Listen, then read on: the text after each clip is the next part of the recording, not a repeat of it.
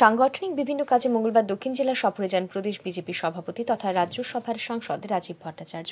এদিন শুরুতেই বিলুনিয়া সার্কিট হাউসের কনফারেন্স হলে দক্ষিণ জেলার নবনির্বাচিত ত্রিস্তরীয় পঞ্চায়েত প্রতিনিধিদের নিয়ে এক সাংগঠনিক বৈঠকে মিলিত হন তিনি। সেখান থেকে শান্তির বাজারে যান সাংসদ। এদিন দক্ষিণ জেলার শান্তির বাজারে মুকুট অডিটোরিয়ামে সদস্যতা অভিযান সংগঠিত করেন তিনি। এদিন সফরকালে সাংসদদের সাথে ছিলেন রাজ্যের জনজাতি কল্যাণ দপ্তরের মন্ত্রী বিকাশ দেববর্মা এবং বিজেপি দক্ষিণ ত্রিপুরা জেলার সভাপতি তথা প্রাক্তন বিধায়ক শঙ্কর রায় সহ স্থানীয় নেতৃত্ব কার্যকর্তারা। এদিন সদস্যতা অভিযান চলাকালীন এক সাক্ষাৎকারী সাংসদ জানান শান্তির বাজারে আরও রেকর্ড সংখ্যক সদস্যতা লাভের জন্য আগামী তিন দিনের জন্য একটি বিশেষ পরিকল্পনা গ্রহণ করা হয়েছে। আর এই বিশেষ পরিকল্পনাকে সার্থক রূপ দিতে বিজেপি রাজ্য কমিটির পক্ষ থেকে মন্ত্রী বিকাশ দেববর্মা এবং চেয়ারম্যান টুটন দাসকে বিশেষ দায়িত্ব প্রদান করা হয়েছে। তাদের নেতৃত্বে এবং কার্যকর্তাদের কঠোর পরিশ্রমে সদস্যতা অভিযানের ক্ষেত্রে দক্ষিণ জেলার শান্তির বাজারে এক উল্লেখযোগ্য ভূমিকা পালন করবে বলে আশা ব্যক্ত করেন সাংসদ। আমি সাংগঠনিক কাজে রাজ্যের বিভিন্ন প্রান্তে ঘুরছি। আজকে দক্ষিণ জেলা সফরে আমি এসেছি।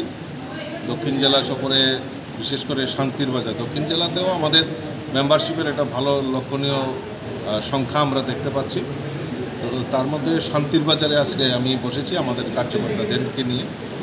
এবং আমাদের শান্তির বাজারে আরও রেকর্ড সংখ্যক যাতে আমরা মেম্বারশিপ করতে পারি।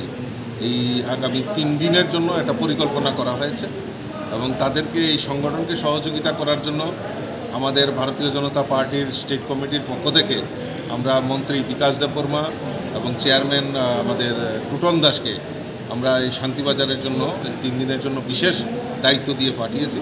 এটাই ভারতীয় জনতা পার্টি যে সর্বস্ত কাজ থাকা সত্ত্বেও আজকে আমাদের মাননীয় মন্ত্রী এবং চেয়ারম্যান এই আমাদের শান্তির বাজারের সংগঠনকে সহযোগিতা করার জন্য তারা ওনারা এসছেন এবং আমরাও আজকে এটা পরিকল্পনা করেছি, মিটিং করেছি এবং আশা করি শান্তির বাজারকে একটা লক্ষ্যমাত্রা জায়গাতে মেম্বারশিপের জায়গায় আমরা পৌঁছে দিতে পারব।